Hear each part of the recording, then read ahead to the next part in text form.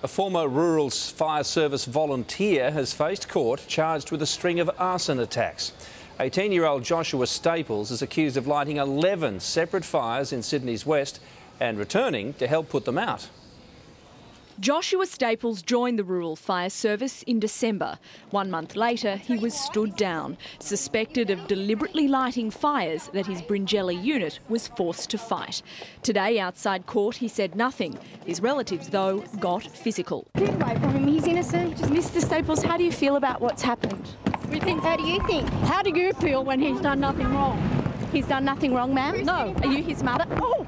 Jeez. Police say over the summer, Staples deliberately lit at least 11 fires in the Greendale area, including three separate blazes on the 18th of January and three more on the 20th. It's alleged he returned to fight almost all of them. A day later, on the 21st of January, Joshua Staples was arrested in Greendale, not far from where another fire was burning.